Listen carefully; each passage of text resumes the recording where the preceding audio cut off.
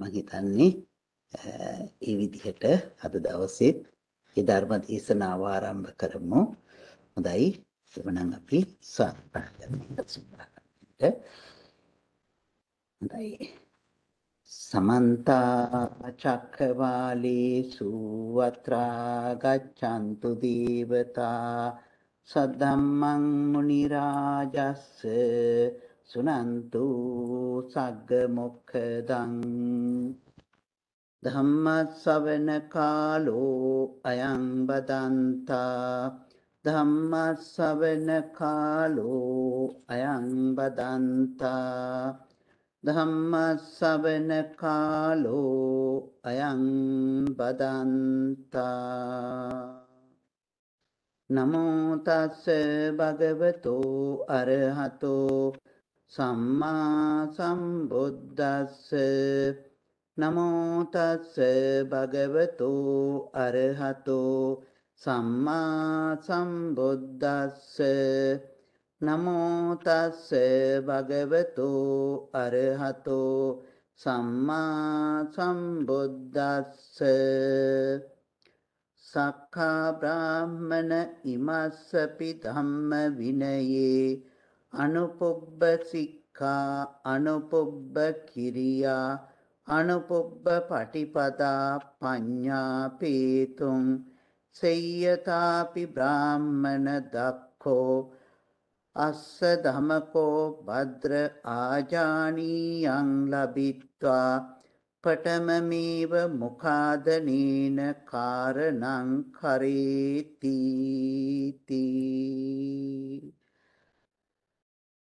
අපේ පූජනීය රේවත හාමුදුරන් වහන්ස සෙදහෙබර පින්නතුනි අපි අපේ මිත්තා විහාරයේහි සතිපතා පවත්වනු ලබන ඒ ධර්ම දේශනාවටයි අපි මේ මොහොතේ ලැබිලා තිබෙන්නේ. ඉතින් 2017 වර්ෂයේහි ආරම්භ කරන ලද මිත්තා විහාරය අද දක්වාම සෑම සෙනසුරාදා දවසකම මේ ධර්ම දේශනය පවත්වාගෙන ආවා. අදත් ඒ විශේෂ ධර්ම දේශනය පවත්වනවා. තව සුළු දවසකින් වස් කාලය එළඹෙනවා. වස් කාලයේ විශේෂ වශයෙන් සෙනසුරාදා දවසේ ධර්ම දේශනාවන් සිද්ධ වෙනවා. මුළු අවුරුද්ද පුරාවකටමත් සෙනසුරාදා දවසේ ධර්ම දේශනාවන් සිද්ධ වෙනවා. ඉතින් ඒ නිසා මේ හැමදිනාම හැම ධර්ම දේශනයක්ම ශ්‍රවණය කරන්නට බැරි වුණත් විටින් විට හෝ ඒ ධර්ම දේශනාවන්ට එකතු වුණා. විශේෂයෙන්ම මේ අන්තර්ජාලය හරහා මේ වැඩසටහන් ප්‍රචාරය කරන්න කලයින් පස්සේ මේ හැමදිනාම පාහේ නිරන්තරයෙන්ම මේ ධර්ම ශ්‍රවණයට එකතු වුණා. ඊට පෙර ආතුවත් විහාරස්ථානයට පැමිණිලා ධර්ම ශ්‍රවණය කළා. ඉතින් මේ ඒ සුපුරුදු ධර්මදේශනාවේ තවත් ධර්මදේශනා මාලාවේ තවත් එක ධර්මදේශනයක් සිද්ධ කරන්නටයි සූදානම් වෙන්නේ. අද ධර්මදේශනාවේ දායකත්වයේ දරන්නේ අපේ පියදර්ශන මහත්මයා, ඒ වගේම ලංකාම්මා උපාධ්‍යා දුව ඇතුළු ඒ සදහැබර පින්වත් පිරිස. ඉතින් අපි ඒ පිළිබඳව කරුණු අවසානයේ සිහිපත් කරමු. ඉතින් කල්පනා කරන්නට අද ධර්මදේශනාවට අපි මාතෘකා කරගන්නට යෙදුනේ මජ්ක්‍ධිම නිකායේ උපරි පණ්ණාසකයේහි දේවදහ වග්ගයේහි හත්වෙනි සූත්‍රය එහෙම නැතුව වෙන පැත්තකින් කිව්වොත් එහෙම මජ්ක්‍ධිම නිකායේ 107 වෙනි සූත්‍රය. ඒ සූත්‍රය තමයි අද අපි මාතෘකා කරගන්නට යෙදුනේ. මේ සූත්‍රයේ නම හැටියට විස්තර කරන්නේ ගණක මොග්ගල්ලාන සූත්‍රය. මීට පෙර ආතුවත් මේ සදහැබර පින්වත් පිරිස මේ ගණක මොග්ගල්ලාන සූත්‍රයෙන් ධර්ම ශ්‍රවණය කරලා ඇති. ඒ නිසා නැවත ධර්ම ශ්‍රවණය කිරීම තුළින් අපේ ජීවිතයට අලුත් ධර්මයක් එකතු කරගන්නට නැත්නම් අහපු ධර්මය නැවත පිරිසුදු කරගන්නට අවස්ථාවක් සැලසෙනවා. එහෙම නැත්නම් අලුත් ධර්මයක් අහන්නට ලැබෙනවා. සැක ඇති තැන් අපට निराකරණය කරගන්නට ලැබෙනවා. අපි මේ ගමන් මඟ නිවන කරා ගමන් කරව ගන්නට අවශ්‍ය ඒ සාධක අපට එකතු වෙනවා නිවන කරා අපි ගමන් කරවනවා. ඒ මෙන්න මේ හැඟීම් සමුදාය ඇති කරගෙන මේ ධර්මයේ තුලින් අපට මේ කෙලෙස් ප්‍රහාණය කිරීම පිණිස නීවරණ ධර්මයන් ප්‍රහාණය කර ගැනීම පිණිස මේ හේතු වේවා කියන ප්‍රාර්ථනය ඇති කරගෙන ඒ පිළිබඳවම සිත පිහිටවා ගනිමින්ම ධර්මයේ තුල සිත රඳවමින්ම අපි ධර්ම ශ්‍රවණය කරමු. ඒ ධර්ම ශ්‍රවණය කිරීම අපි හැමතෙම බොහොම යහපත පිණිස සිදුවෙනවා කියන බව මේ මොහොතේදී සිහිපත් කරගෙන ඉතින් කල්පනා කරගන්නට මේ ඝනක මොග්ගල්ලාන සූත්‍රය බුදුරජාණන් වහන්සේ දේශනා කරන්නේ සවැත් නුවර පූර්වාරාමේදී.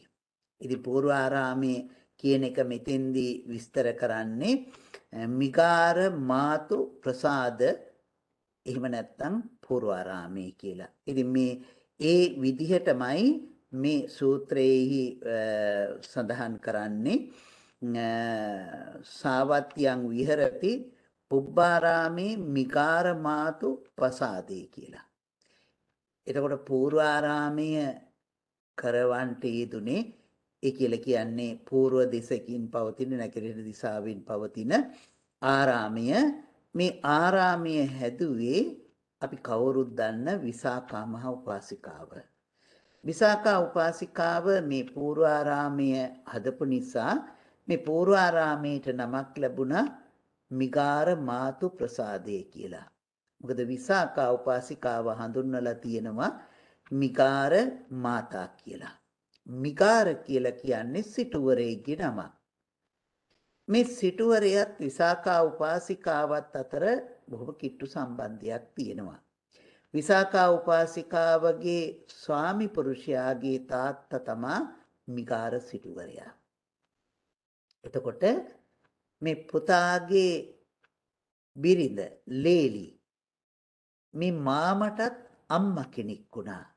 බලන්න කොයිතරම් ගුණවත්ද කියලා. විසාකාව. එතකොට හිතන්ට ඒ තරමටම ගුණවත් කෙනෙක් වුණ නිසා මේ විසාකා උපාසිකාව බොහොම ප්‍රසිද්ධ වුණා මිගාර මාතා කියලා. මිගාර සිටුවරයටත් මව් කෙනෙක් ලෙස කටයුතු කරපු නිසා. ඉතින් මේ මිගාර මාතු ප්‍රසාදේ වැඩවෙසෙන අවස්ථාවේදී බුදුරජාණන් වහන්සේ දකින්ට ගණක මොග්ගල්ලාන කියන බ්‍රාහ්මණයෙක් පැමිණෙනවා. ගණක මොග්ගල්ලාන. මේ ගණක මොග්ගල්ලාන කියලා කියන්නේ මෙයා ගණිතය කරන කෙනෙක්, ගණන් කරන කෙනෙක්. අද හැටියට ඉතින් අපට හිතන්න පුළුවන් ගණකාධිකාරීවරයෙක් කියලා. නේද? ඒක මේ ධර්මයේ විස්තර කරනවා.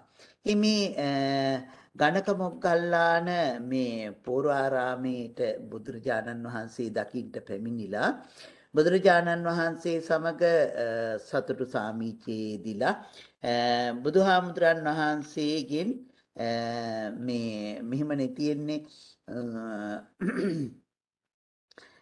භගවා සද්දින් සම්මෝධී සම්මෝධනීයං කතං සාරාණීයං වීතිසාරෙත්වා ඒක මන්තං නිසීදී.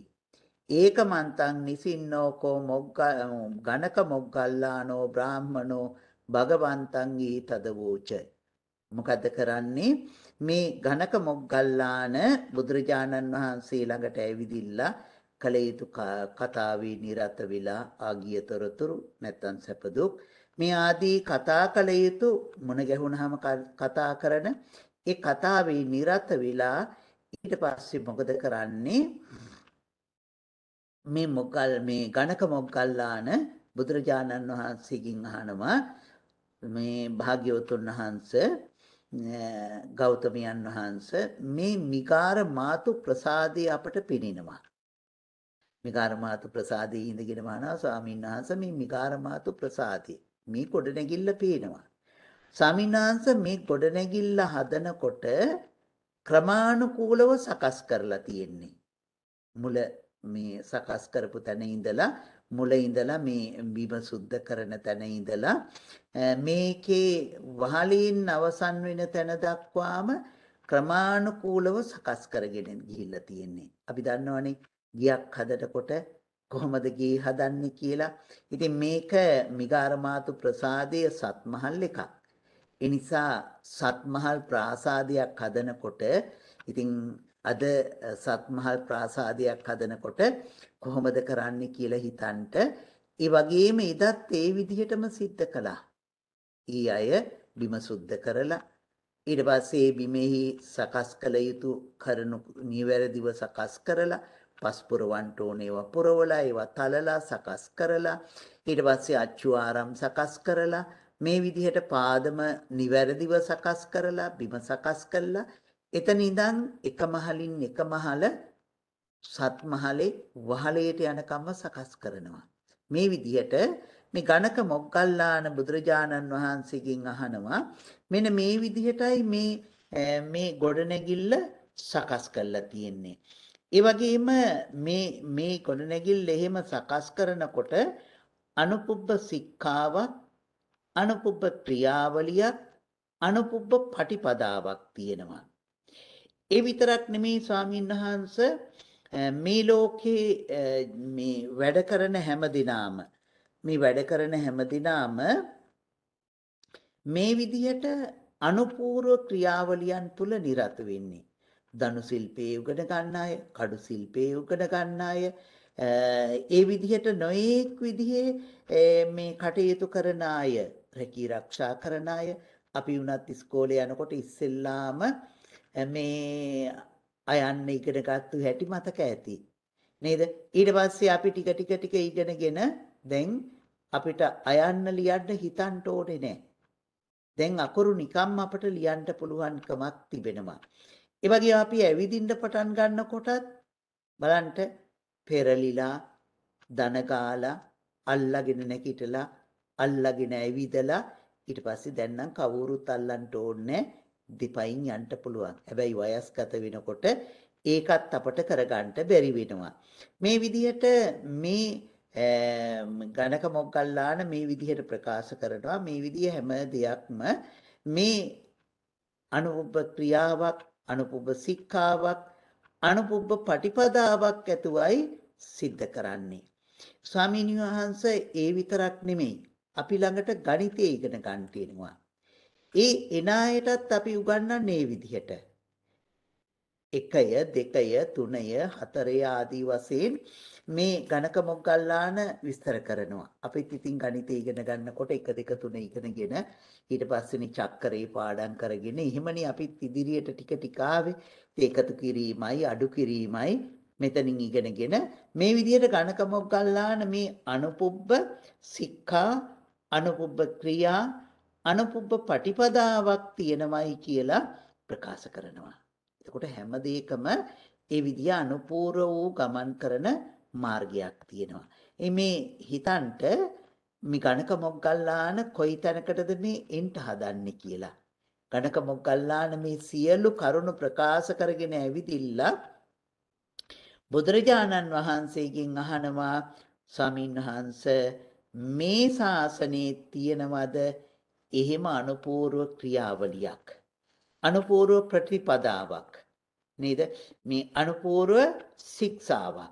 එතකොට අනුපුබ්බ සික්ඛා අනුපුබ්බ ක්‍රියා අනුපුබ්බ ප්‍රතිපදාවක් තියෙනවද කියලා මේ ශාසනය පිළිබඳව බුදුරජාණන් වහන්සේගෙන් අහනවා.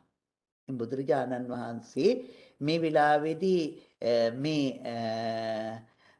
ගණක මොග්ගල්ලාන බ්‍රාහ්මණතුමාට ප්‍රකාශ කරනවා මේ ශාසනීත් අනුපුබ්බ මේ ක්‍රියා සික්ඛාවක් අනුපුබ්බ පටිපදාවක් තිබෙනවා.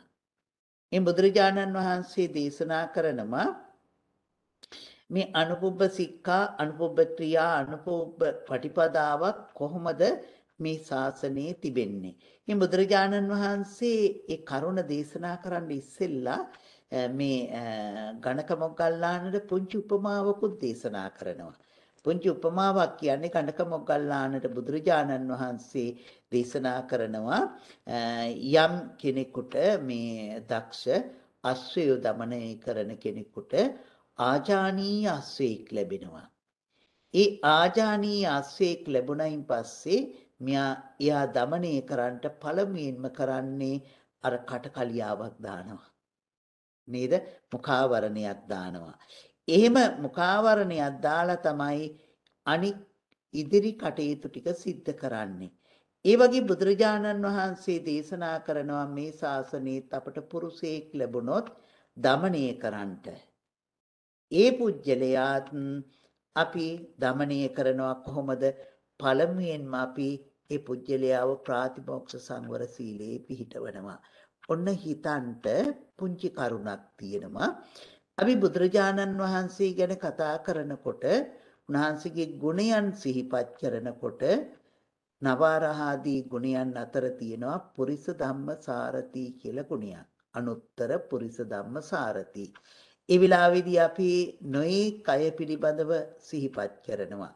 නොඑක් සත්තුන් দমনය කළා දරුණු මිනිස්සුන් দমনය කළා වාදේහි දක්ෂ සච්චක වාගේ අය නාලාගිරිය යතා වාගේ අය බක බ්‍රාහ්මණය වාගේ අය මේ විදිහේ නොඑක් අය দমনය කළා කියලා අපි විස්තර කරනවා මේ කොහොමද দমনය කළා තියෙන්නේ ඒ අය මේ මොහොතේ අපි දකිනවා සංවර භාවයටපත් වෙනවා කියලා.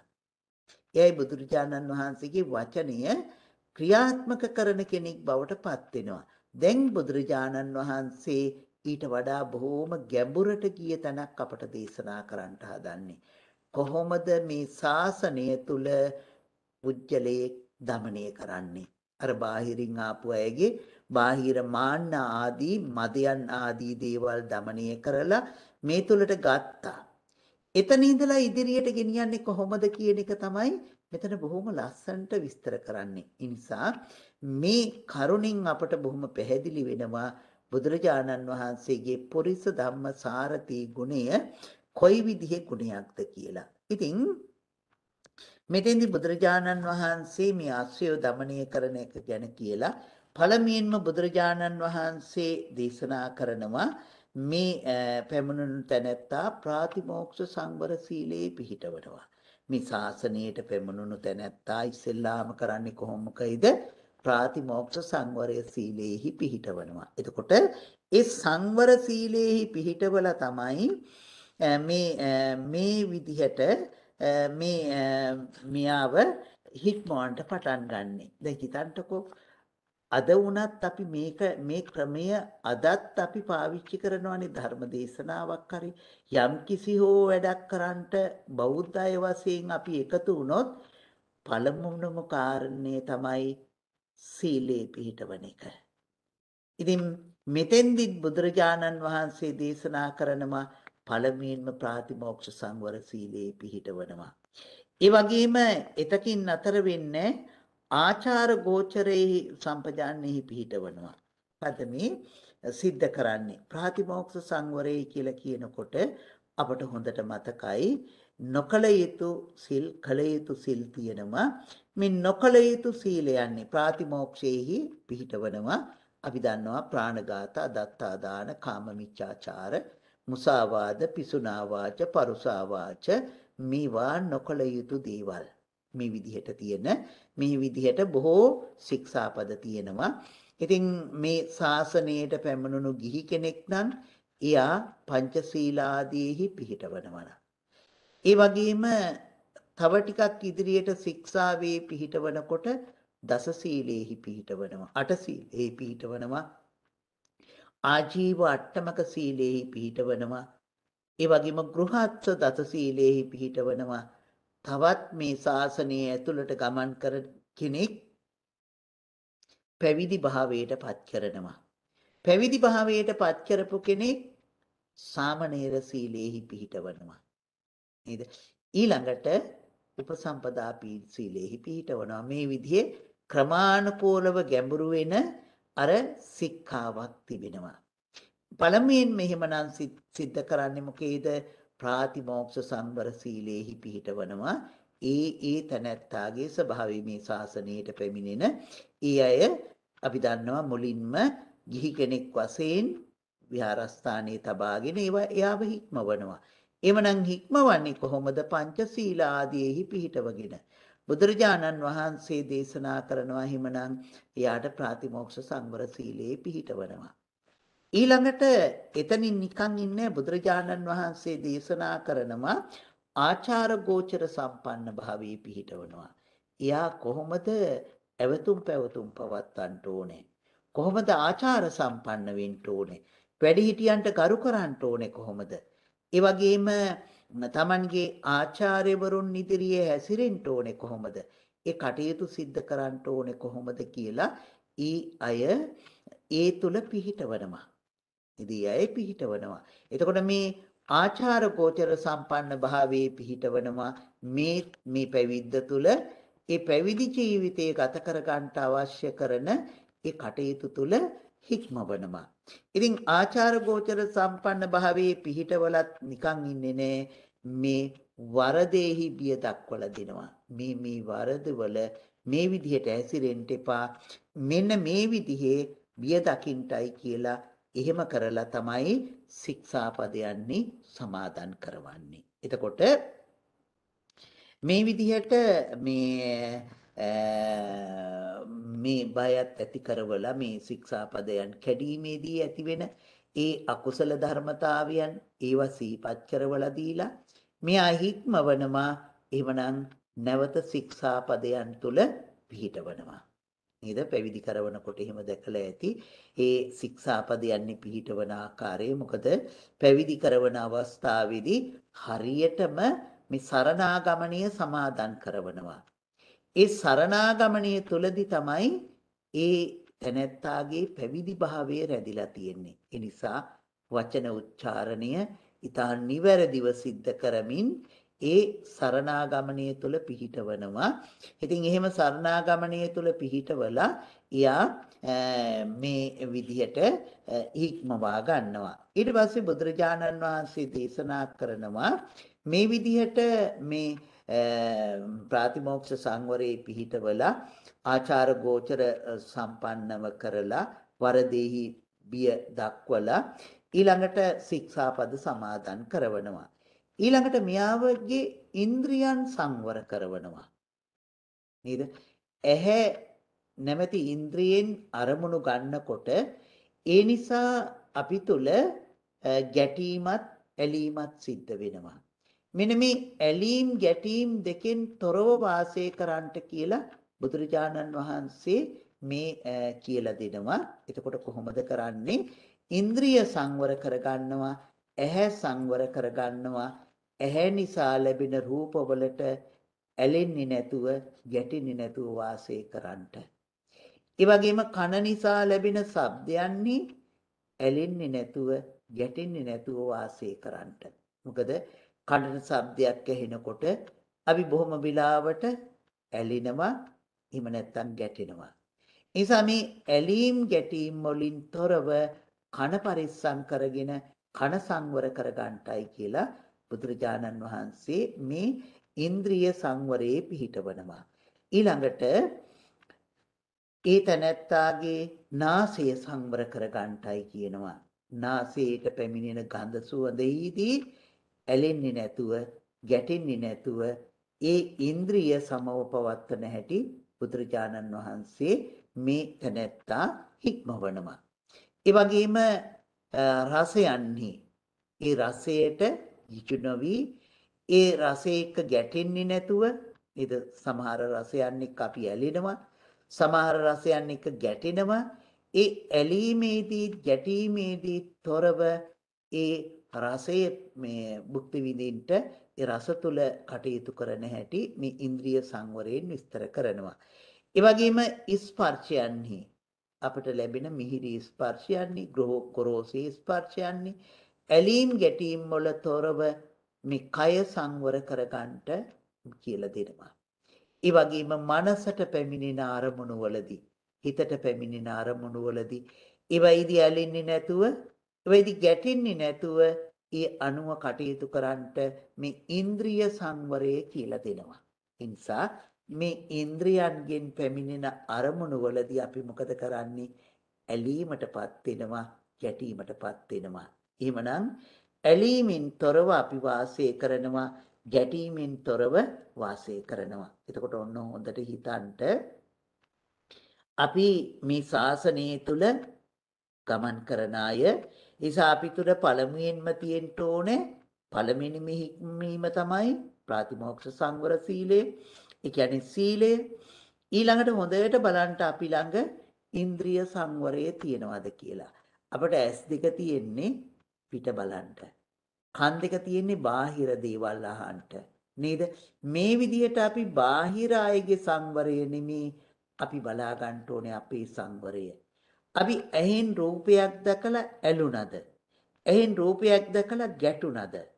කනින් ශබ්දයක් අහලා ඇලුනද? කනින් ශබ්දයක් අහලා ගැටුනද? නාසයෙන් ගන්ධයක් ලැබිලා ඇලුනද? නාසයෙන් ගන්ධයක් ලැබිලා ගැටුනද?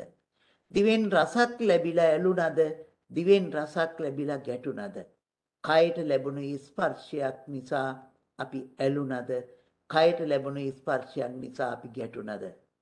මනසට ආපු ආරම්මණයක් නිසා අපි ඇලුනද අපි ගැටුනද අපි කොහොමද සංවර වුණේ කොහොමද ඇහැ සංවර වුණේ කොහොමද කන සංවර වුණේ කොහොමද නාසය සංවර වුණේ කොහොමද දිව සංවර වුණේ කොහොමද ශරීරයේ සංවර වුණේ මනස සංවර වුණේ කොහොමද කියලා හොඳට බලන්න. එහෙමනම් බුදුරජාණන් වහන්සේ අපට දෙවනුවම ප්‍රකාශ කළේ මොකක්ද? මෙන්න මේ ඉන්ද්‍රිය සංවරය ඇති කර ගන්නයි කියලා. ඊළඟට බුදුරජාණන් වහන්සේ ඊළඟට මේ ගණක මොග්ගල්ලාන ප්‍රකාශ කරනවා ඊළඟ කරුණ හැටියට භෝජනයේ මත්‍රඥුතතාවය ඇති කරවනවා. ආහාරේ පමණ දැන ගැනීම ඇති කරවනවා. ඉවනම් ආහාරයේ පමණට අපි ගත යුතුයි. ඉතින් ආහාරයේ පමණ දැන ගැනීම කියනකොට ප්‍රධාන වශයෙන්ම මෙතෙන්දි බුදුරජාණන් වහන්සේ දේශනා කරන්නේ මේ ආහාරය අපි කුණක් කුමක් පිණිස ගන්නවද කියන බව සිහිපත් කර ගන්න ඕනේ. ඒ නිසා අපි වැඩියෙන් ආහාර ගන්නට යන්නේ නැහැ. නේද? ඒ මොකද අපි කරන්නේ ඇති වෙලා තියෙන කුසගිනි නිවා ගැනීම පිණිස. ඒ වේදනාව නැති කර ගන්නට. නැවත වේදනාවක් ඇති කරගන්නේ නැහැ. නිසා ආහාරයේ වැඩියෙන් අරගෙන අපි මේ වේදනාවන් තුලට යන්නේ ආහාරය අපි ගත්තේ මොහොකටද මේ මේ කය පවත්වා ගන්නට අපි මේ ආහාරය නිසා මදය ප්‍රමාදය විනෝදය ක්‍රීඩා ආදිය මෙන්න මේවා පිණිස නෙමෙයි. එමනම් ආහාරය අපි අරගෙන තිබෙන්නේ අපේ කය මනවින් පවත්වා ගන්නට. මේ කය පහසුවෙන් පවත්වා ගන්න පාසු විහාරෝචාති නේද? පහසුවෙන් පවත්වා ගන්නට. ඒ නිසා බුදුරජාණන් වහන්සේ ආහාර ගත යුතු ප්‍රමාණය දේශනා කළා. එනිසා බුදුරජාණන් වහන්සේ එක වේලකින් යැපීමේ ආනිසංස දේශනා කළා. එක වේලකින් අපට යැපෙන්න පුළුවන් නම් ඒකේ වටිනාකම දේශනා කළා. ඒ මේ විදිහට ආහාර ගැනීමේ සංවරයක් බුදුරජාණන් වහන්සේ දේශනා කළා. මේ භෝජනයේ මත්‍රාඥුතතාවයක් බුදුරජාණන් වහන්සේ දේශනා කළා. එතකොට ඔන්න හික්මවන පිළිවෙල මේ ආහාරයන් පිළිබඳව. ඉතින් අපට කොයිතරම් ආහාර ලැබුණත් ඉතින් මුලදී ඉන්ද්‍රිය සංවරයේදී ඇලෙන්න එපා ගැටෙන්න එපා කියලා දේශනා කළා. දැන් මෙතෙන්දී අභෝජනී මාත්‍රාඥුතතාවයේදී ආහාරේ පමණ දැනගෙන ආහාර ගන්නටයි කියලා. මොකද ආහාරය කියන එකට අපි බොහොම රැවටෙනවා. බොහොම රැවටෙනවා. වාතමිග ජාතකයේදී අර වාතමිග මේ අස්වැයෝ මේ ආහාරය නිසා රැවටුණ හැටි මං හිතන්නේ අපට මතකයි අපි අහලා තියෙනවා. මොකද ආහාරයට ඒ තරම් රැවටෙනවා. තව බොහෝ හාමුදුරන් වහන්සේලා බුදුරජාණන් වහන්සේගේ කාලේ ආහාරය නිසා ආහාරයට ගිචු වෙලා ආහාරය නිසා සිවුරු ඇරලා නැවත ගිහිභාවයට පත් වුණ අවස්ථාත් මං හිතන්නේ අපිට අහන්ට ලැබිලා තියෙනවා. අපි දන්නවා ඒ පිළිබඳව. ඒ නිසා මේ භෝජනයේ මාත්‍රාඥතතාවය ඊ타ත්ම වැදගත් දෙයක්. මිහාර අපට ගන්න බෑ කියලායි කරන්නේ නැතුව.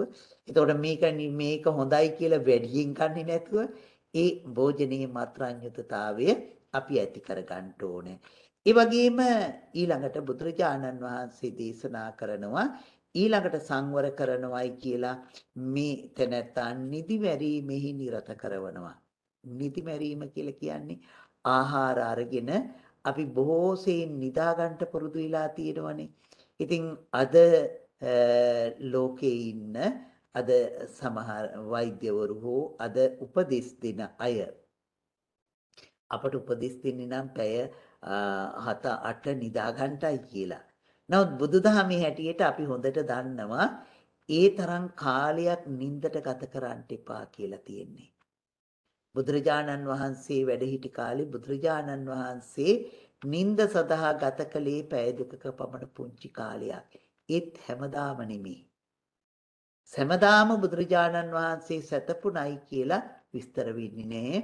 ඉතින් විවේකයේ ගත්තා එහෙම නැත්නම් ඒ කාලයත් අනිත් අය වෙනුවෙන් යෙදෙව්වා. ආනන්ද හාමුදුරන් වහන්සේ ඒ වගේම අනිකුත් රහතන් වහන්සේලා බොහෝ දෙනෙක් ආනන්ද හාමුදුරුව අරිහත්ත්වයට නොපෙමුණුනත් ජීවිතේ බොහෝ කාලයක් රාත්‍රියේ සැතපුණේ නැහැ. ඉතින් එහෙම නොසැත සැතපෙන්නේ නැතුව නිදි වැරීම සිද්ධ කළා. අපි දන්නවා බුදුහාමුදුරන් වහන්සේ නිදි වැරීම අපට දේශනා කරන්න එකපාරටම සම්පූර්ණයෙන්ම නොනිදායින්ට කියලා නෙවෙයි. බුදුහාමුදුරන් වහන්සේ අපට හොඳට මතකයි රාත්‍රියේ කොටස් තුනකට බෙදාගෙන මුල් කොටස සක්මනෙත් ඒ වගේම ඉඳ ගැනීමෙත් නීවරණ ධර්මයන් යටපත් කරමින් වාසය කරනවා. මධ්‍යම කාලයේහි, ඒ කියන්නේ රාත්‍රී 10 සිට 2 දක්වා කාලයේහි අපි මෙතෙන්දී බුදුරජාණන් වහන්සේ දේශනා කරනවා සිහිනුවණින් යුක්තව සැතපෙනවා. ඒ සිහිනුවණින් යුක්තව යා සැතපෙනවා නැගිටින විලාව සනිටුහන් කරගෙන. ඒ විලාවටම නැගිටිනවා. එහෙමනම් රාත්‍රී 10 ඉඳලා 2 දක්වා සැතපෙනවා. දෙකේ ඉඳලා ආයෙ නැගිටලා ඒ ඊළඟ పూర్ව කාලයේහි මොකද කරන්නේ සක්මනෙත් වාඩි වීමෙත් නීවරණ ධර්මයන් යටපත් කරමින් කටයුතු කරනවා මෙන්න මේ විදිහටයි අපි මේ මේ ජාගර්යානු යෝගයේ එහෙම නැත්නම් නිදිවැරීම සිද්ධ කරන්නේ. එතකොට බුදුරජාණන් වහන්සේ කෙනෙක් හික්මවන ආකාරය එතකොට අපට හොඳට පේනවා පළමුවෙන්ම සීලයේ පිහිටවනවා ඒ වගේම ඉන්ද්‍රිය සංවරයේ පිහිටවනවා ඊළඟට එයා භෝජනයේහි පමණ දැන ගැනීම තුළ නිරතව කරනවා. භෝජනී මත්‍රාන්‍යුතතාවය ඇති කරවනවා. ඊළඟට සිද්ධ කරවන්නේ නිදි වැරීම නේද? ජාගරියානු යෝගය. ඉතින් ඒ අනුව කටයුතු කරලා ඊළඟට පස්වෙනි කාරණිය හැටියට ඔන්න බුදුරජාණන් වහන්සේ අපට දේශනා කරනවා එයා සති සම්පජන්ණයෙන් යුක්ත කරනවා. සති සම්පජන්ණයෙන් යුක්ත යුක්ත කරනවා. මොකද කරන්නේ? ආලෝකිතේ විලෝකිතේ සම්පජානකාරී හෝති. ළඟ බලනකොට දුර බලනකොට සිහියෙන් යුක්තව වාසය කරනවා ඔන්න බලන්න හික්මීමේ? මේ ශික්ෂාවේ අනුපුබ්බ ක්‍රියාවේ අනුපුබ්බ පටිපදාවේ ක්‍රමක්‍රමයෙන් ගැඹුරට එන හැටි. එහෙමනම් සංවරභාවයේ පිහිටවපු පුජ්‍යලයා ඊට පස්සේ සිහියෙන් කටයුතු කරන්නට බුදුරජාණන් වහන්සේ යොමු කරවනවා. මේ විදිහට මේ තැනැත්තා සති සම්පජන්නයෙන් යුක්තව කටයුතු කරනවා. එතකොට සති සම්පජන්නයෙන් යුක්තව කටයුතු කිරීම අපට හොඳට මතකයි මේ අතපය දිගාරිනකොට සම්මිංකිතේ පසාරිතේ සම්පජානකාරී හෝති ඒ වගේම කායිතේ වායිතේ සායිතේ පීතේ සම්පජානකාරී හෝති. හපනකොට ගිලිනකොට ඒ වගේම සූප්පු කරනකොට විකනකොට මේ හැම තැනදීම සිහියෙන් යුක්තව කටයුතු කරනවා. සංඝාටි පත්ත චීවර ධාරණී සම්පජානකාරී හෝති. සිවුරු පරිහරණය කරනකොට පාත්‍ර පරිහරණය කරනකොට සම්පජානීන් යුක්තව සිහියෙන් යුක්තව කටයුතු කරනවා. ඊළඟට බුදුරජාණන් වහන්සේ අන්තිම වශයෙන්ම දේශනා කරනවා උස්සාව පස්සාව කම්මෙහි සම්පජානකාරී හෝති. එතකොට මේ ක්‍රමයෙන් සිහිය තුළ පිහිටවනවා. ඉතින් මේ විදිහට සම්පජන්ණයෙන් යුක්තව කටයුතු කරනවා. ඒ නිසා මේ මේ තැනැත්තා රුක්ෂ මූලයේහි ඒ වගේම අරණ්‍යේහි මේ සුසාන භූමියේහි මේ තැන්වල ඉඳගෙන මේ අවිද්‍යා ව්‍යාපාදයන් දුරු කරමින් මේ සියලු සත්‍යයන් කෙරෙහි මෛත්‍රියෙන් යුක්තව කටයුතු කරනවා. දැන් ඔන්න මෙතෙන්ට එනකන් හික්මවගෙන ඇවිදිලා බුදුරජාණන් වහන්සේ දේශනා කරනවා මේ ටික වඩන්නේ කොහෙද? අරන්නේ රුක්ක මූලේ ශුන්‍යාගාරේ සොහොනේ සුසාන භූමියේහි කමතේ නේද මේ නොයෙක් තැන්වල නිදහසේ ගත කරන්න පුළුවන් තැන්වල මොකද කොහොමද වාසය කරන්නේ අභිච්ඡා දෝමනස්යන්ගෙන් තොරව ඇලීම් ගැටීම් වලින් තොරව සියලු සත්වයන් කෙරෙහි හිතානුකම්පීව මෛත්‍රියෙන් යුක්තව වාසය කරනවා. ඒ තැනැත්තා මොකද කරන්නේ මේ වාසය කරන තැනැත්තා මොනවයිද ඇති කරගන්නේ මේ අවිච්ඡාවෙන් තොර වෙනවයි කියලා කියන්නේ කාමච්ඡන්දයෙන් තොර වෙනවා. එතකොට යා ව්‍යාපාදයෙන් තොර වෙනවයි කියලා කියන්නේ කාමච්ඡන්ද ව්‍යාපාදයෙන් තොර වෙනවා තරහෙන් තොර වෙනවා නීවරණ ධර්මයන්. ඒ වගේම ඊළ කාමච්ඡන්ද ව්‍යාපාද තීන මිද්දෙන් තොර වෙනවා. නේද? තීන මිද්දෙන් තොර වෙනවා. ඒ ආලෝක සංඥාව තුල නිරත වෙනවා. කාමච්ඡන්ද ව්‍යාපාද තීන මිද්ද උද්දච්ච කුක්කුචෙන් සිත විපිලිසර භාවයෙන් පසුතැවීමෙන් තොර කරගෙන සංසොන් සිතකින් යුක්තව පසු පසු නොතැවී වාසය කරනවා. ඒ වගේම සැකයෙන් තොරව මේ ධර්මයේ තුල නිවැරදිව හික්මෙනවා. එහෙමනම් මොකද කරන්නේ? මේ තැනැත්තාව පංච නීවරණ ධර්මයන්ගෙන් තොර පුජ්‍යලයක් බවට පත් කරනවා. එමනම් පංච නීවරණ ධර්මයන් යටපත් කරවනවා. ඒ යටපත් කරවීම නිසා හිත සංසුන් භාවයට පත් වෙනවා. එහෙම හිත සංසුන් වෙනකොට එයාගේ සිත තැම්පත් වෙනවා. සංසුන් වෙනවා, තැම්පත් වෙනවා. ඒ නිසා ඒ තැනැත්තා පඨම ධානයේ කරා පැමිණෙනවා. විතක්ක, ਵਿਚාර, පීති, සුඛ ඒකග්ගතාවයෙන් යුක්තව පඨම ධානයේ කරා පැමිණෙනවා. පීති සුඛ ඒකග්ගතාවයෙන් යුක්තව ဒုတိ ය ධානයේ කරා පැමිණෙනවා. ඊළඟට සුඛ ඒකග්ගතාවයෙන් යුක්ත තෘතිය ධානයට පැමිණෙනවා. උපේක්ඛා ඒකග්ගතාවයෙන් යුක්ත චතුත්ථ ධානයට පැමිණෙනවා. දැන් මේ තැනැත්තාගේ සිත බොහෝ සෙයින්ම සංසොන්. සංසොන් සිතක් ඇති කරගත්තු තැනැත්තා ඊට පස්සේ මොකද කරන්නේ? ඒ නිසාම ඒ තැනැත්තා මේ මේ මග තුල ගමන් කරලා සියලු කිසිලසුන් නැසලා අරිහත්ත්වයට පත් වෙනවා. ඔන්න බුදුරජාණන් වහන්සේ අනුපුබ්බ සික්ඛා අනුපුබ්බ ක්‍රියා අනුපුබ්බ පටිපදාවන් ගණක මොග්ගල්ලාණියන්ට මේ බ්‍රාහ්මණතුමන්ට දේශනා කළා. ඉතින් මේ විදිහට මේ ගණක මොග්ගල්ලාණියන් යට මේ විදිහට ප්‍රකාශ කළයින් පස්සේ කනක මොග්ගල්ලාන බුදුරජාණන් වහන්සේගෙන් ලස්සන ප්‍රශ්නයක් අහනවා. ස්වාමින්වහන්ස ඉතින් ඔබ වහන්සේ මෙහෙම හික්මවගෙන නිවන කරා මේ අය අරහත්ත්වේ කරා ගෙනියන්ට අනුශාසනා කරනවා. ස්වාමින්වහන්ස මේ ශාසනයට එන හැම කෙනාම නිවන් දකින්නවද? බුදුරජාණන් වහන්සේගෙන් අහනවා. දැනුත් අපි අහන්නත් පුළුවන් නේද? හැම කෙනාම එහෙම නිවන් දකින්නවද? මේ බුදුරජාණන් වහන්සේ මේ වෙලාවේදී ගණක මොග්ගල්ලානට ප්‍රකාශ කරනවා ගණක මොග්ගල්ලාන මම ඔබට එක කරුණක් විස්තර කරන්නම්.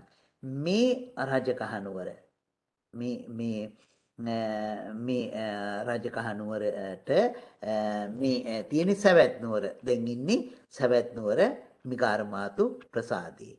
සැවැත් නුවරේ ඉඳලා රජකහනුවරට යන්න පාර කියන්ට ඔබ දන්නවද කියලා අහනවා. කනක මොග්ගල්ලාන කියනවා ස්වාමීන් වහන්සේ මේ මේ සවැත් නුවරේ ඉඳලා රජකහ නුවරට යන්න පාර කියන්න දන්නවා. ස්වාමීන් වහන්සේ මේ මම ඔබට කෙනෙක් ළඟට පැමිණුනහම ඔබ ඒ තැනැත්තාට පාර කියලා දෙනවා. මේ රජගහ නුවරට යන්න අවශ්‍ය කෙනාට පාර කියලා දෙනවා. මේ පාරෙන් යන්න මෙහෙම යනකොට මේ මේ විදිහේ ලක්ෂණයෙන් යුක්ත ගම්මානල හම්බ වෙනවා. මේ මේ ලක්ෂණයෙන් යුක්ත නියන්කම් හම්බ වෙනවා. මේ මේ ලක්ෂණයෙන් යුක්ත ගොඩනැගිලි හම්බ වෙනවා. මේ විදිහට උයන් හම්බ වෙනවා. මේ විදිහට කැලෑ හම්බ වෙනවා. මෙන්න මේ පාරේ මෙන්න මෙහෙම ගමන් කරගෙන යනකොට ඔබට පුළුවන්කමක් ලැබෙනවා රජකහනුවරට යන්න කියලා ඔබ පාර කියලා දෙනවා. සමිනාසෙම පාර කියලා දෙනවා. ඉතින් එහෙම පාර කියලා දුන්නත් දැන් ඔබ ළඟට පැමුණුණු පළවෙනි තැනැත්තා මේ පාර අහගෙන මේ මේ මගින් නොගින් වෙන මගින් ගිහිල්ලා පාර වරද්දාගෙන ආපහු එනවා. කනක මොග්ගල්ලාන තව පුජ්‍යලෙක් ඇවිදින්න ඔබෙන් මේ විදිහට පාර අහගෙන ඒ තැනැත්තා අර නිමිති අර කරුණ හොඳින් සලකලා බලමින් වරද්දා ගන්නේ නැතුව රජකහනුවරට යනවා. ඉතින් ඔබ මොකද කරන්නේ? නේද? ඒ වගේ බුදුරජාණන් වහන්සේ දේශනා කරනවා මේ ශාසනයේ ඇතුල් වෙන අය මේ කියලා දුන්න අනුපුබ්බ සික්ඛා අනුපුබ්බ ක්‍රියා අනුපුබ්බ පටිපදා තුල ගමන් කළේ නැත්තම් ශාසනය ඇතුල් වෙනවා කියලා කියනකොට පැවිදි වෙනවා කියන එකමත් නෙවෙයි කියන එකයි අපි හොඳට සිහිපත් කරගන්න ඕනේ නේද? ඉතින් මේ ශාසනය ඇතුල් වුණු අපි හැම දිනාම අපි ශාසනය ඇතුල් වුණු සිව්වණක් පිරිසක් ඉන්නවනේ. භික්ෂු, භික්ෂුණී, උපාසක, උපාසිකා. අපි සියලු දිනාම මේකට අයිති ශාසනයේ ඉන්න අය හැටියට. එහෙනම් අපි හැමදෙනාම මොකද කරන්න ඕනේ? මෙන්න මේ පාර වරද්දා ගන්නේ නැතුව බුදුරජාණන් වහන්සේ දේශනා කරපු මේ පාර තුර ගමන් කරන්න ඕනේ. අන්නේ පාර තුල ගමන් කරනකොට ඒ තැනැත්තාට ගමන් කරන්න පුළුවන් කොහාටද? නිවනට. බුදුරජාණන් වහන්සේ දේශනා කරනවා මේ සවැත් නුවර ඉඳලා රජගහ නුවරට යන්න පාර අහගත්තට එක්කෙනෙක් මගදුරට ගිහිල්ලා වරද්දගෙන ආපහු එනවා. තව කෙනෙක් ඒ කහගත්තු මගම නිවැරදිවම ගමන් කරලා නිවැරදි තැනට යනවා. කොහාටද යන්නේ? රජගහ නුවරට යනවා. ඒ විදිහයි මේ ගමන් මග කියලා මේ ගණක මොග්ගල්ලානට බුදුරජාණන් වහන්සේ දේශනා කරනවා. මේ විලාවේ ගණක මොග්ගල්ලාන බුදුරජාණන් වහන්සේ ගැන බොහෝම පැහැදිනවා. පැහැදිලා ගණක මොග්ගල්ලාන ප්‍රකාශ කරනවා ස්වාමීන් වහන්සේ ඔබ වහන්සේට සද්ධාව නැති අය ඔබ වහන්සේ ළඟ නැහැ. ඔබලා ඔබ මේ සද්ධාව නැති අය, ඒ වගේම කපටිකමින් යුක්තව අය, මායාව තියෙන අය, වංචක අය, උඩඟු අය, මානෙන් යුක්ත අය, චපල අය, දොඩමලු අය. බලන්නකො මේ කනක මොග්ගල්ලාන විස්තර කරන හැටි. ඉන්ද්‍රිය මේ දමනීය නොකරගත්තු අය, භෝජනීය පමණ දැන නොගත්තු අය. ඒ වගේම ජාගර්යානුයෝගයේ යුක්ත නැති අය, ශික්ෂාවන්ට ගෞරවත්වයක් නැති අය.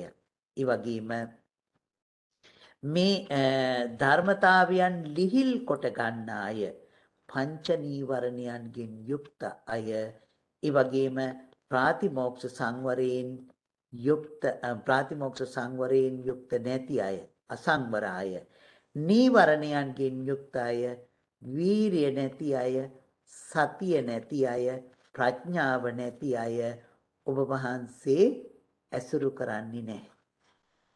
වහන්සේ ඇසුරු කරන්නේ ඊළඟට නැවත මේ කරුණු ටිකම බුදුරජාණන් වහන්සේ ගැන ගණක මොග්ගල්ලාන දේශනා කරනවා ඔබ වහන්සේ ඇසුරු කරන්නේ කවුද?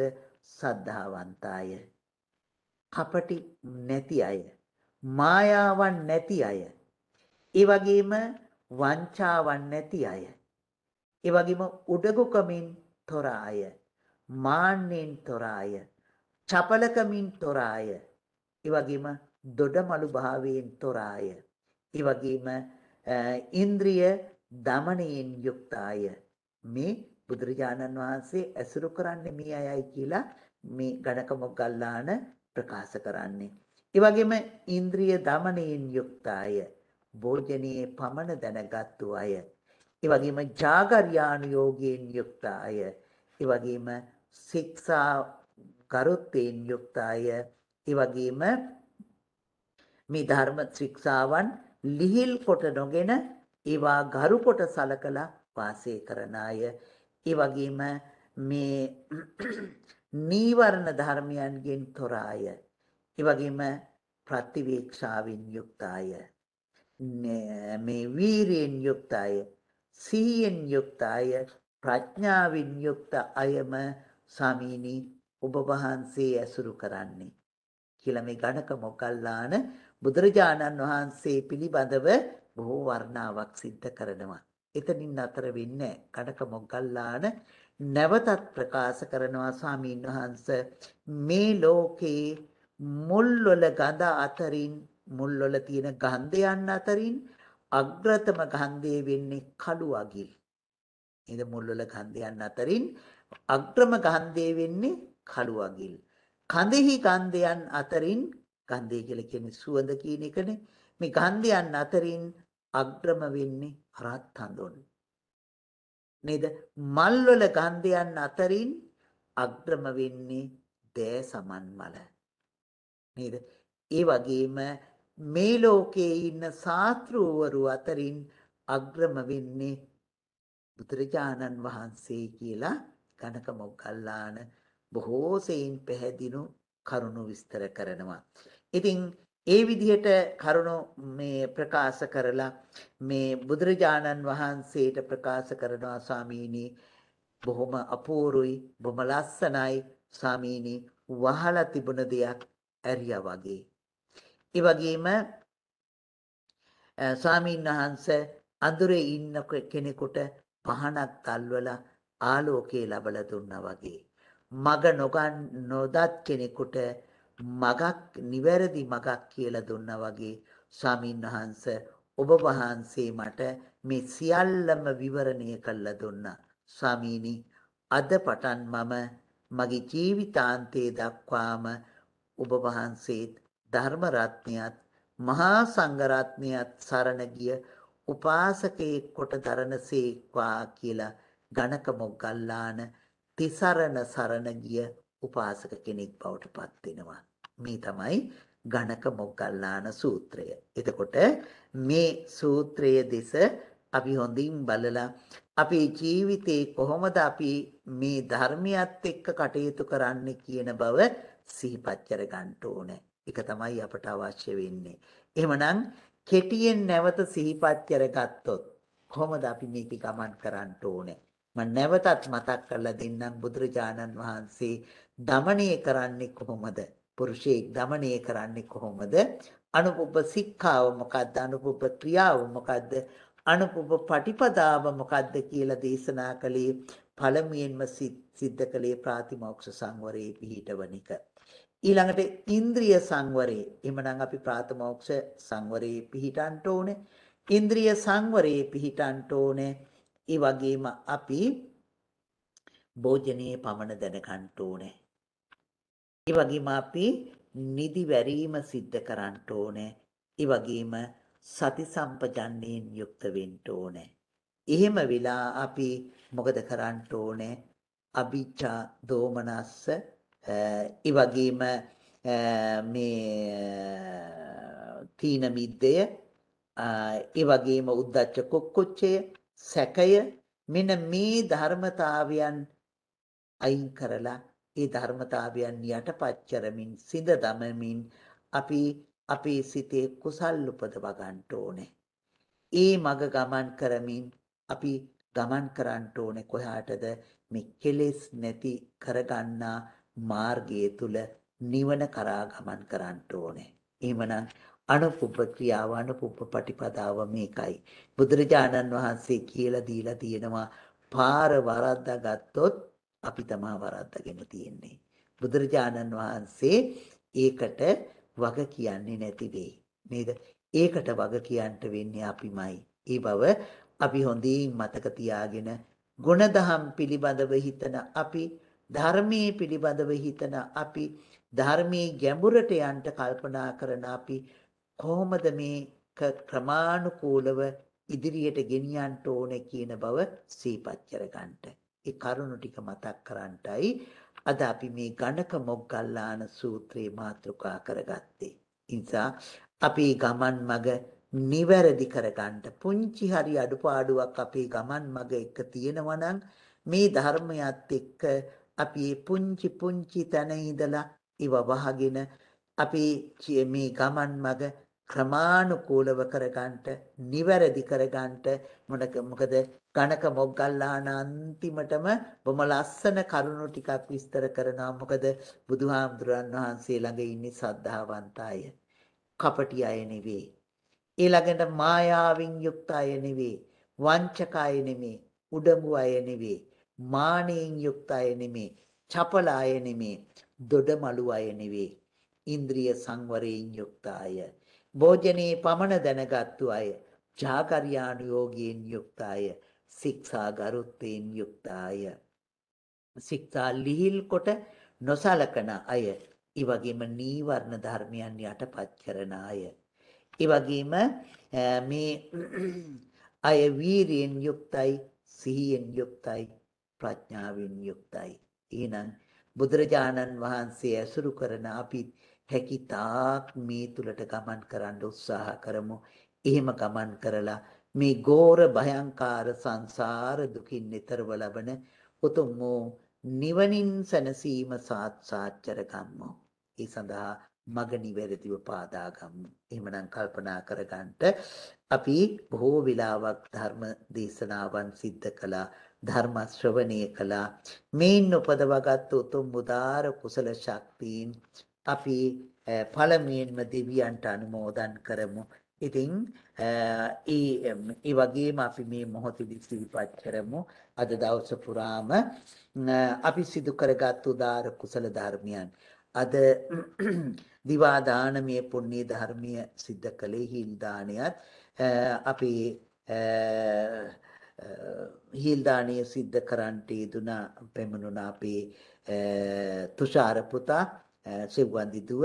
ඒ වගේම චුටි දුව ඇතුළු ඒ සදෑබර පින්නත් පිරිස. ඒ වගේම දිවා දානය සමත් අබේරත්න මහත්මයා ධර්මා අබේරත්න මහත්මිය අම්මා ඇතුළු ඒ ඥාති හිත මිතුරන් විසින් සිද්ධ කරන්නට යෙදුණා ඒ සියලු දිනාමත් මේ මොහොතේ සිහිපත් කරනවා. ඔබ හැම සියලු දිනාමත් සිහිපත් කරගෙන ඒ වගේම විශේෂයෙන් අද ධර්ම දේශනාවට ආරාධනා කරපු මේ ධර්ම දේශනාවේ දායකත්වයේ දරන අපේ පියදර්ශන මහත්මයා ඒ වගේම අපේ ලංකා අම්මා උපාධ්‍යා දුව ඇතුළු ඒ සියලු දිනාමත් සිහිපත් කරනවා. මේ හැම දිනාම සුරකින්න සියලු දෙවියෝ මේ පින් අනුමෝදන් වෙත්වා. සම්‍යක් දෘෂ්ටික දෙවියෝ පින් කැමැති දෙවියෝ. මේ පින් අනුමෝදන් වෙත්වා අප හැම දිනාමත් මුලින් නම් සඳහන් කරපු සියලු දිනාමත් දෙවියෝ සුරකිත්වා. ඒ වගේම දෙවියෝ තමන්ගේ සැප සම්පත් දියුණු පමුණු භාවයට පච්චර ගනිත්වා. දෙවියෝ ප්‍රාර්ථනීය බෝධියකින් නිවනින් සැනසෙත්වා කියලා දෙවියන්ට පින් දෙමු. ආකාසට්ටා ච බුම්මට්ටා දීවානාගා මහිද්దికා පුඤ්ඤන්තං අනුමෝදිත්වා චිරන් රක්칸තු සාසනං ආකාසට්ටා ච බුම්මට්ටා දීවානාගා මහිද්దికා පුඤ්ඤන්තං අනුමෝදිත්වා චිරන් රක්칸තු දේශනං ආකාසට්ටා ච බුම්මට්ටා දීවානාගා මහිද්దికා පුඤ්ඤන්තං අනුමෝදිත්වා චිරන් රක්칸තු මම් පරන්ති. ඒ වගේම අපි අපේ මිය පරලොව ගිය